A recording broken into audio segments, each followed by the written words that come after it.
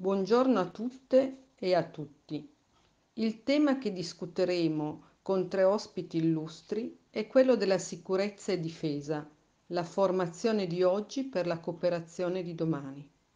Un argomento importante e delicato e a Torino esiste una realtà unica nel suo genere che opera proprio nell'ambito di questo tema.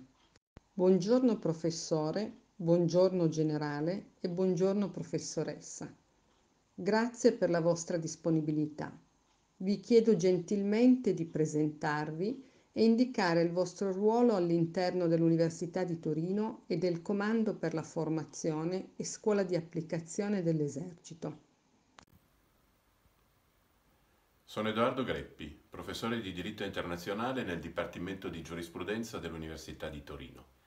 Nella stessa università sono anche presidente della scuola universitaria interdipartimentale di scienze strategiche e poi sono anche presidente dell'Istituto internazionale di diritto umanitario, un ente che organizza corsi di formazione di diritto internazionale dei conflitti armati, di diritto internazionale dei rifugiati, di diritto internazionale delle migrazioni e di diritti umani. Buongiorno, sono il generale di divisione Salvatore Cuoci, comandante del Comando per la Formazione e Scuola Applicazione dell'Esercito, con sede nella città di Torino. È un comando deputato alla formazione di tutti gli ufficiali dell'Esercito italiano mediante sia studi universitari, che possono meglio caratterizzare la professione militare, sia studi professionali. Non a caso il eh, comando è a Torino, la prima capitale d'Italia, dove la maggior parte delle istituzioni, tra cui l'esercito, sono nate, ma anche perché a Torino si è potuta creare una perfetta joint venture tra il mondo universitario e il mondo militare. L'Università di Torino è un'eccellenza e per questo è riconosciuta tra le top 5 eh, mega università eh, italiane secondo l'ultimo rapporto annuale del Censis. Sono Marina Nuciari, sono professore di sociologia al Dipartimento di Scienze Economico-Sociali e Matematico-Statistiche dell'Università di Torino e mi occupo da molti anni di ricerca sociologica sulle organizzazioni militari e nelle organizzazioni militari. In particolare insegno sociologia militare nei corsi della Scuola Universitaria di Scienze Strategiche e sono attualmente presidente dei corsi di laurea di, e di laurea magistrale in scienze strategiche. Professore, in questi ultimi anni il tema della sicurezza e della difesa è diventato sempre più importante e riguarda tutti i cittadini. Come stanno cambiando gli scenari e come possiamo prepararci? Difesa e sicurezza sono oggi componenti molto importanti della vita degli Stati, della vita di relazione internazionale e della cooperazione tra gli Stati stessi. La fine dell'epoca della contrapposizione globale ha visto emergere una nuova realtà molto più complessa, più articolata, una realtà fatta di sfide e di minacce che sono genuinamente eh, globali e che richiedono conoscenze e competenze molto particolari per essere affrontate in maniera efficace. Dicevo, la fine dell'era delle contrapposizioni globali ha fatto emergere soggetti che entrano in una dinamica di relazione molto più complessa di quanto lo fosse in un mondo più schematico come era appunto quello delle eh, relazioni internazionali tra due grandi blocchi contrapposti. Pensiamo anche alle eh, mutazioni che hanno subito le grandi organizzazioni internazionali, la cooperazione multilaterale sia a livello universale sia a livello regionale europeo. Nel campo della difesa e della sicurezza abbiamo ovviamente la Nato, abbiamo l'Unione Europea, abbiamo l'Organizzazione per la sicurezza e la cooperazione in Europa. Bene, già un secolo fa, oltre un secolo fa, Luigi Einaudi additava tutti i rischi che, sono, che scaturivano dal mito dello Stato sovrano. Oggi questo mito è ancora vivo ed è sempre più un mito in un mondo nel quale l'economia, il commercio, la finanza sono globali, nei quali il terrorismo è internazionale per definizione, nel quali eh, l'ambiente e il clima pongono sfide di portata universale, le migrazioni sono un fenomeno globale, eh, internet e le comunicazioni sono una realtà internazionale e, come abbiamo visto di recente, un'epidemia può rapidamente diventare una pandemia. Ecco, tutto questo pone al mondo della, eh, delle relazioni internazionali, al mondo delle professioni, delle sfide particolarmente impegnative. Generale, quali sono secondo lei le sfide più importanti nell'ambito della sicurezza a cui dobbiamo rispondere tutti insieme in questo momento di cambiamento globale? È indubbio che il mondo sia decisamente cambiato negli ultimi 30 anni. Eh, sono state risolte molte sfide importanti come il concetto bipolare. Il cambiamento però ha registrato anche fenomeni nuovi ad impatto globale, non sempre positivi, come il terrorismo religioso, la proliferazione di crisi regionali e l'aumento di minacce richiedono nuove e più complesse forme e modalità operative. In questo scenario di crescente instabilità, il rafforzamento della cooperazione tra le forze armate, tra i paesi e tra le organizzazioni internazionali rappresenta l'imprescindibile punto di riferimento per assicurare al Paese la necessaria cornice di sicurezza, con la ferma volontà di evitare lo spillover delle crisi e ristabilire la pace. La crisi poi che stiamo vivendo inoltre ha ulteriormente aggravato contesti già complessi sotto il profilo economico e sociale. La sua imprevedibilità e l'impatto globale che ne è derivato sono stati così imponenti eh, da richiedere uno sforzo complessivo dell'intera società e la mobilitazione di tutte le strutture dello Stato. Questo ha imposto ancora una nuova modalità di formazione più votata all'internazionalizzazione e alla capacità predittiva dei fenomeni. Caratteristica importante e imprescindibile di ogni buon soldato è la comprensione del mondo e a tal proposito qui alla scuola d'applicazione insieme all'Università di Torino abbiamo realizzato un percorso formativo capace di rispondere efficacemente ai cambiamenti a cui stiamo assistendo e fornire gli strumenti per l'analisi dei fenomeni e per la risoluzione dei problemi. I nostri ufficiali fin da subito devono essere preparati ad adempiere il loro dovere, ben consapevoli che in ogni contesto le decisioni prese devono essere decisioni responsabili, più aderenti possibili poi alle esigenze del momento. E sicuramente al giorno d'oggi eh, gli scenari sui quali siamo impegnati sono molteplici e diversificati la capacità di adattamento, consolidata da ottima preparazione e motivazione, ci permettono di assolvere con rapidità ed efficacia il nostro dovere, per il bene poi della collettività. Ogni nuovo scenario che ci troviamo ad affrontare rappresenta per noi una sfida che non possiamo permetterci di perdere, perché è il nostro Paese che ce lo chiede e la comunità internazionale che ce lo chiede. E in questo, anche in quest'ultima emergenza, eh, l'esercito ha dimostrato di essere una realtà e un'istituzione reattiva e adattativa. E questo iter di studi eh, rappresenta un'ottima opportunità per attingere in modo trasversale a varie materie eh, e ai vari dipartimenti e per contribuire così alla formazione di quello che oggi è riconosciuto il miglior peacekeeper al mondo, capace di operare nell'ambito di crisi internazionali eh, senza nulla togliere ad altri paesi, ai eserciti di altri paesi. Questo è sicuramente il risultato di una proficua azione combinata con l'Università di Torino, alla quale siamo molto grati. Professoressa, la cultura della cooperazione va sviluppata. Saper cooperare significa saper condividere obiettivi, mettere insieme competenze differenti. Come si può sviluppare questa cultura? La cooperazione.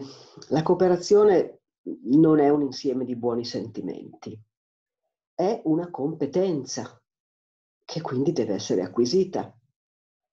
Se c'è un atteggiamento favorevole sul piano emotivo, questo può aiutare, ma occorrono delle conoscenze, delle skills adeguate, perché la condivisione degli obiettivi, soprattutto tra soggetti istituzionali diversi tra loro, come possono essere le organizzazioni governative, le forze militari, le forze politiche e soggetti privati come le imprese o come le ONG di vario tipo, eh, la, una cooperazione tra tanti soggetti così diversi deriva da processi di negoziazione che non si improvvisano e anche da capacità di comprensione reciproca. Allora, queste capacità si fondano inevitabilmente su delle conoscenze che richiedono studi diversificati, addestramento e esperienze, esperienze varie, esperienze prolungate. Allora, il modello formativo dei corsi di laurea in scienze strategiche offerti dalla Swiss e la formazione che vede insieme studenti militari e studenti civili e mira proprio a creare queste competenze che derivano dalla frequentazione reciproca tra persone che mirano a acquisire delle capacità professionali in parte simili, in parte differenziate, ma complementari. E soprattutto nel momento della formazione, negli anni della formazione, la condivisione dei tempi di studio e di attività e quindi quello che accade prima delle lezioni, durante le lezioni, dopo le lezioni, le discussioni, no? da punti di vista che possono anche essere, anzi meglio se sono diversi tra loro, aiuta a reciprocamente capirsi e quindi anche integrare le, le rispettive necessità. Quindi aiuta effettivamente a creare una mentalità cooperativa che però non è soltanto una mentalità, una propensione, ma è anche una capacità guidata da conoscenza. Quindi la cooperazione si fonda sulla capacità e sull'acquisizione di competenze specifiche e sulla pratica di queste competenze. E allora questo ambiente è un ambiente che in effetti favorisce proprio, tra i diversi aspetti ovviamente di formazione che offre, questo tipo di formazione di tipo potremmo dire personale. Eh? Queste soft skills che diventano effettivamente una, un pacchetto di abilità molto utili in, nei contesti articolati, complessi, spesso imprevedibili, molto cangianti e improvvisamente mutevoli eh, che, eh, che, caratterizzano la nostra epoca e quella che, ci, che abbiamo davanti.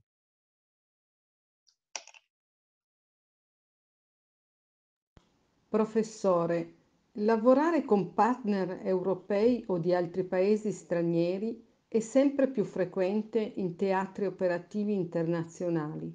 Come si può facilitare questa nuova realtà?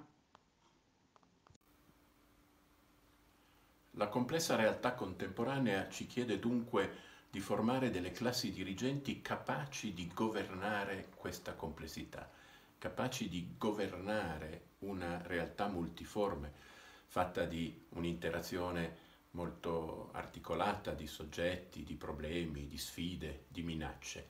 Ecco, questa è, riteniamo oggi, la vera grande sfida della formazione, che deve essere nella nostra prospettiva orientata una, a, a, una forma di eh, genuina, eh, genuino ambito di scienze strategiche per questo noi eh, facciamo formazione per eh, gli ufficiali allievi dell'esercito italiano, per gli studenti civili, per gli studenti stranieri che insieme studiano, affrontano questi problemi con metodologie didattiche che non sono soltanto fondate sulle tradizionali lezioni frontali, ma che vedono l'interazione di gruppi di lavoro, vedono workshop, vedono simulazioni, vedono scambi culturali eh, anche internazionali. Ecco, tutto questo nell'ottica davvero di dare vita a un'esperienza formativa multidisciplinare eh, orientata ad affrontare insieme eh, tematiche tra loro molto complesse nell'ambito delle scienze, eh, delle scienze cosiddette dure, la matematica, la chimica, la fisica, ma anche delle scienze sociali, il diritto, l'economia, la sociologia, l'antropologia, il management. Ecco, tutti ambiti nei quali i corsi di scienze strategiche mirano appunto a fornire conoscenze e competenze idonee appunto alla realizzazione di una classe dirigente capace di affrontare queste sfide davvero complesse. Generale, durante quest'ultimo periodo che ha fortemente segnato il nostro Paese, abbiamo visto personale dell'esercito intervenire al servizio della comunità. quanto crede sia importante che la formazione del personale civile e militare avvenga insieme fin dai primi anni dell'università?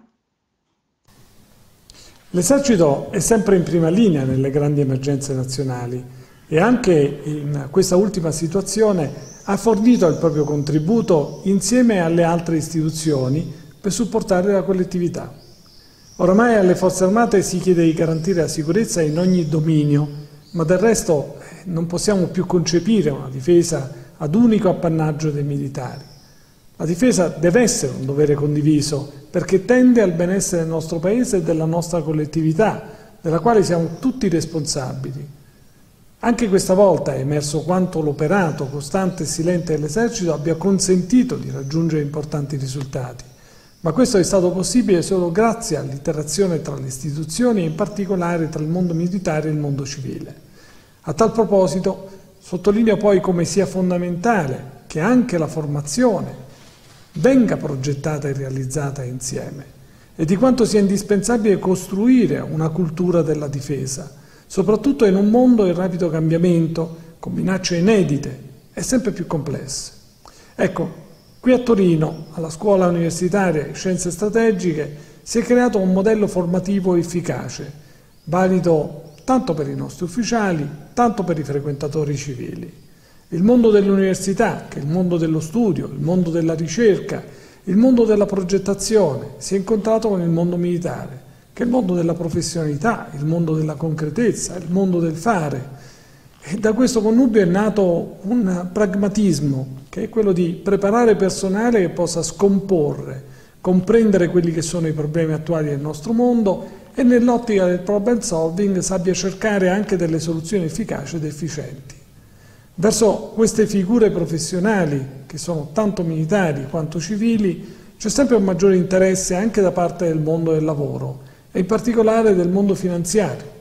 Immaginate la capacità di poter disporre di analisti, così come vengono formati in questa scuola, che abbiano l'abilità predittiva di comprensione di quelli che sono i fenomeni che si stanno verificando in un determinato paese, dove magari si vorrebbero fare degli investimenti e quindi intuire quale possa essere il futuro o lo sviluppo economico e sociale di questo Paese. Saper interpretare questi fenomeni può costituire un importante elemento informativo, ad esempio, per chi desideri fare questo tipo di investimenti. E questa è una cooperazione felice che si è realizzata qui a Torino e per la quale vi è sempre una maggiore attenzione, un maggiore appetito anche da parte del mondo del lavoro in termini occupazionali. Professoressa, quali sono secondo lei le caratteristiche fondamentali per una formazione che sappia fornire strumenti adeguati per rispondere alle nuove sfide? Le caratteristiche per una formazione adatta a gestire situazioni complesse. E sono caratteristiche che potremmo dire altrettanto diversificate delle situazioni in cui questi professionisti si trovano ad operare.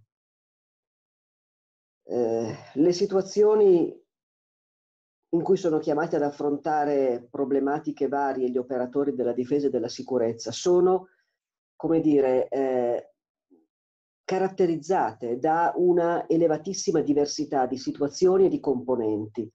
E quindi anche la formazione per rendere questi operatori adeguati deve avere, potremmo dire, altrettante componenti. Quindi è un complesso multidisciplinare che porta ad acquisire delle conoscenze, delle capacità in vari campi, in campo sociologico, in campo antropologico, in campo politologico, diplomatico, eh, così anche come nei campi della negoziazione, della mediazione e delle relazioni interculturali, a queste capacità di applicazione di strumenti di analisi e di comprensione di ambienti complessi eh, si intrecciano altre abilità. Allora, le prime sono tutte competenze che derivano da discipline scientifiche. Occorrono però anche delle abilità, potremmo dire abilità tecniche, mh, mm, è un termine riduttivo, delle skills di tipo relazionale, come la capacità di lavorare in gruppo, capacità di problem solving, eh, competenze comunicative e anche una consapevolezza culturale che, eh, che è quella che rende possibile la comprensione tra culture diverse. Con una formazione di questo tipo che si alimenta attraverso lo studio, ma attraverso anche l'applicazione, le esperienze, il confronto, si crea un orientamento cooperativo.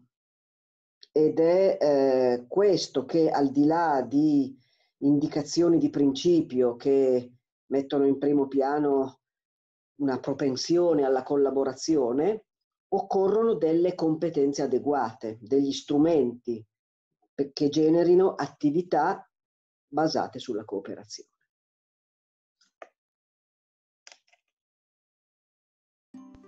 Ringrazio i gentili ospiti e ringrazio tutte le persone che ci hanno seguito.